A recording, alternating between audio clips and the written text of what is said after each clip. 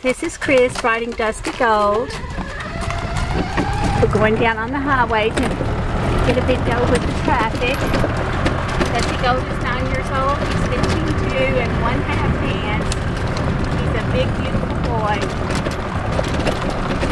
He will stop standing wait, but now sometimes he won't.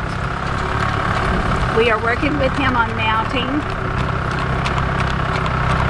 He's a really sweet, affectionate horse. He, he's in the cross ties, he'll want to follow you when you walk off. He loves to be close. He is one of the sweetest, just really love him. We're at Forest Ridge Farm, Science Hill, Kentucky, 606-423-5054. We thank you for watching.